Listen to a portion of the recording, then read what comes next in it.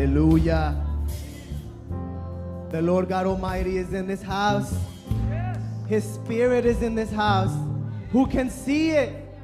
Who can feel it? Lord God Almighty. Lord Jesus, this is the day, Father. Mercy is still available, Lord. Grace is still available, Father. Mercy is not cut off yet. And there's a decision to make today, people of God. There's a decision to make today, sinners, unbelievers. Come on, there's an important decision to make today. There are many decisions to make in life, but the most important one is to accept the free gift of God, to accept the Lord God Almighty, to accept the Savior of the world, to accept Him who loves us. Amen? And why is it important to make that decision? And, and it's not just because people tell us to do it. No, it has to come from the heart. Amen? Like I said, the greatest decision of them all is to accept the Lord Jesus Christ as your God and Savior. Why? Because it doesn't only affect us in this world, but it also tells us where we're going. It affects our eternal life heaven or hell, heaven or hell.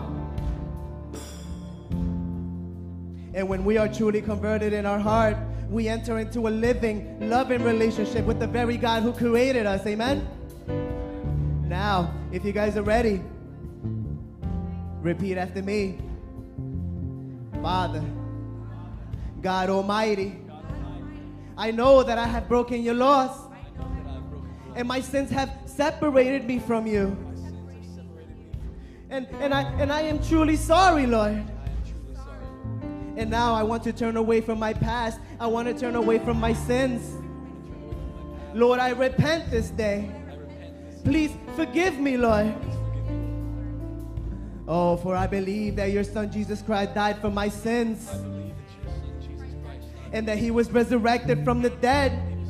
And that he is alive this day. He is on his throne. And now I ask you, Lord Jesus, to, to become the Lord of my life, the King of my life, that you may rule and reign in my heart from this day forward. And I ask you to send your Holy Spirit to help me obey you and to do your will for the rest of my life.